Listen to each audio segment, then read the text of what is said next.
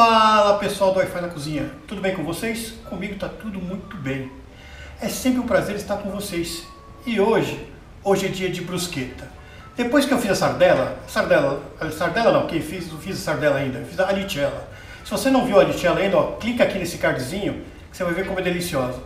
O pessoal andou pedindo, andou pedindo outros antipastos. Então pediram caponata, pediram sardela, pediram a brusqueta e eu vou fazer todas elas para vocês. Então hoje nós vamos fazer brusqueta. Senta aí e anota tudo que a gente precisa para fazer uma brusqueta deliciosa. E para nossa brusqueta que é molezinha fazer, nós vamos precisar de tomates, orégano, manjericão, sal, um dente de alho, mussarela de búfala, pão italiano e azeite. O tomate, eu já tirei aqui, vocês podem ver que eu já cortei o tomate e já tirei o miolo dele. Eu só quero a casquinha, a carninha do tomate, tá bom? Se você, eu estou fazendo aqui com tomate italiano, aquele grande para fazer molho, mas você pode fazer com aqueles pequenininhos também, o, o grape. O importante é que o tomate esteja bem, esteja madurinho, ok? Então vou começar a misturar aqui nossos temperos. O tomate eu tirei o miolinho dele, porque senão ele vai gerar muita água e eu não quero ele muito úmido, tá vendo? Ó, já tirei, então ele está quase sem nada de água.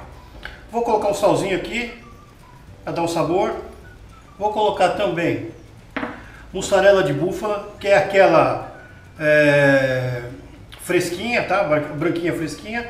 Ela já está é, cortada, cortei ela. Vamos colocar a mussarela aqui dentro. Não preciso colocar o soro.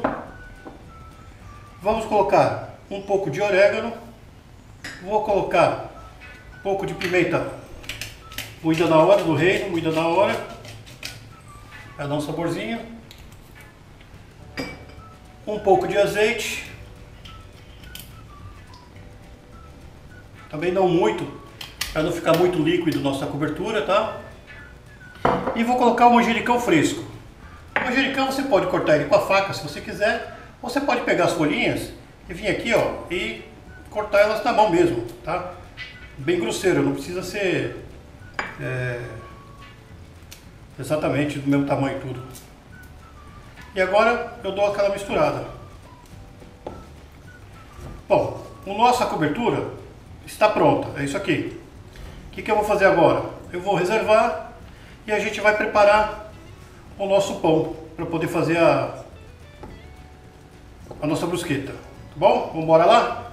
Tá aqui o nosso pãozinho italiano. Se você não tiver pão italiano, pode fazer também com baguete, pode fazer também com filão, pode fazer também com pão francês. Tá? O importante é que ele tenha, que seja um pão um pouco consistente. Não, não dá para fazer com pão, aquele pão americano, né? o pão Pullman, vai, porque, a casquinha, porque o miolo dele é muito mole e não vai ficar legal, tá bom? Então vamos lá, vamos cortar o nosso pão aqui, ó.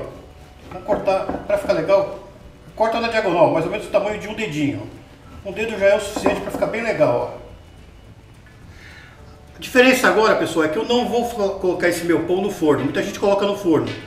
Mas o que, que acontece quando você coloca no forno? Ele vai virar uma torrada, ele vai desidratar. E não é isso que eu quero. Eu quero que ele fique seladinho, que ele fique durinho é, em cima e embaixo, mas ele fique mole no meio, que ele tenha uma, uma, uma certa... É, uma certa... Fique mole mesmo, né? Fugiu a palavra agora, mas é isso que eu quero, tá bom? Eu não quero ele totalmente torrado. Então eu vou deixar ele aqui. Acabei de virar o pão, ó. Ele ficou bem tostadinho de, do lado, tá vendo? Ó? E agora ele está fazendo um pouquinho do outro lado também.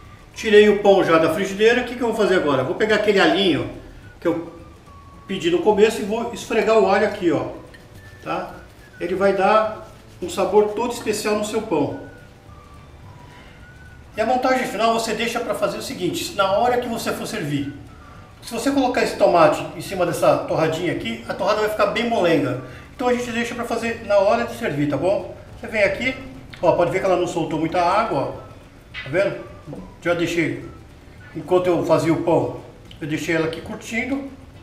E agora eu vou preparar aqui uma, uma pra gente.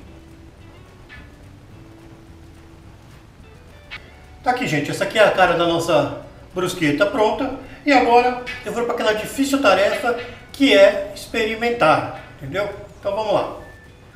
Agora chegou aquela hora difícil que é a hora de experimentar, né? Vou pegar uma aqui. Vamos lá.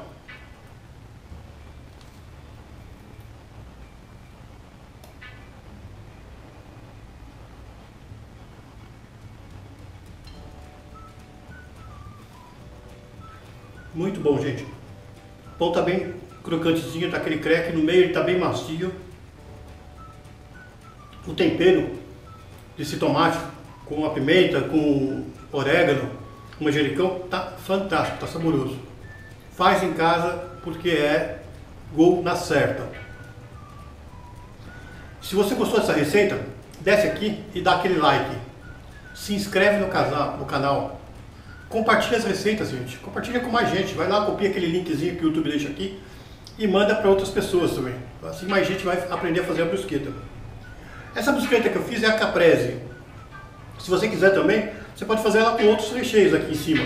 Você pode fazer ela com queijo, com queijo parma e presunto, fica a seu critério.